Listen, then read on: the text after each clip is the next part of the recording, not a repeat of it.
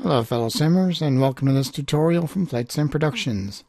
Today we're taking a look at SODE. SODE stands for Sim Object Display Engine and sometimes it'll look like this.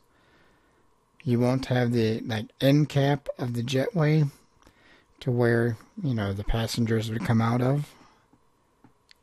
It's kind of strange. And sometimes what you'll end up with is nothing at all. There's a really simple solution to fix this, and I'm going to show you how to do it. Go to your Start button, go down to Sim Object Display Engine, start Platform Manager, and you can see here that the SODE engine is pink, and that means it's not active. So what you do is you click the Register button, and voila, you're back in business. Everything is green. Let's go check it out in our sim and see if everything's working the way it should. Sometimes this happens when you load a new airport. I don't know why it does it. It deactivates it, so you kind of have to go in and do exactly what we did here and should fix you up fine. We're going in kind of hot here in the heli, but as you can see, the jetways are looking good.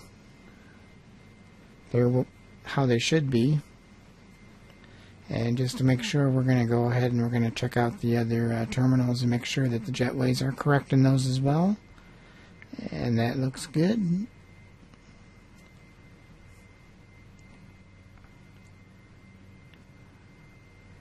And we're going to go down to the final one here.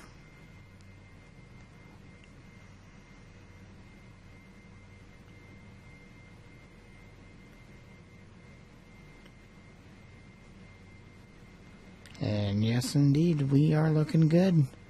We've got our jetways back, so we're in business. If you like what you see, don't forget to subscribe. Hit the thumbs up button. That lets us know that what we're doing is exactly what you want to see. Check us out on Facebook at facebook.com slash flightsimproductions. Until next time, keep your head in the clouds.